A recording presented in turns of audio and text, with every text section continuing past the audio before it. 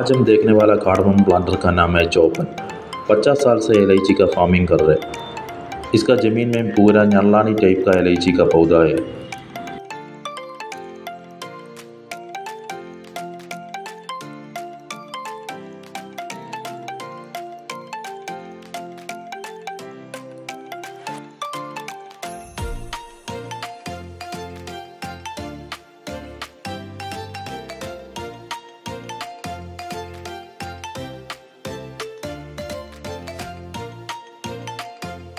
अभी जो हम देख रहे चार महीना पुराना पौधा है।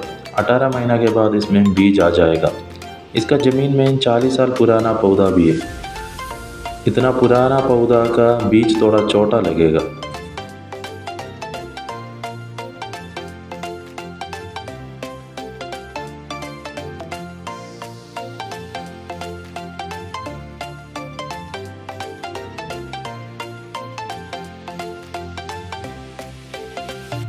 एक पौधा में एक साल दो किलो के आसपास बीज मिलेगा। एक कम और ज़्यादा भी हो सकते।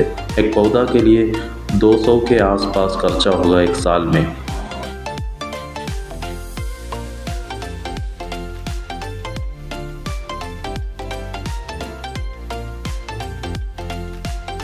क्लाइमेट चेंज बहुत ज़्यादा अफेक्ट होने वाला फ़ार्मिंग है इलायची का। गर्मी का समय मेनली जनवरी टू अप्रैल सभी दिन पानी डालना है नहीं तो पूरा पौधा खराब हो जाएगा अच्छा से देखेगा तो 30 और 40 साल तक इलायची का पौधा रुकेगा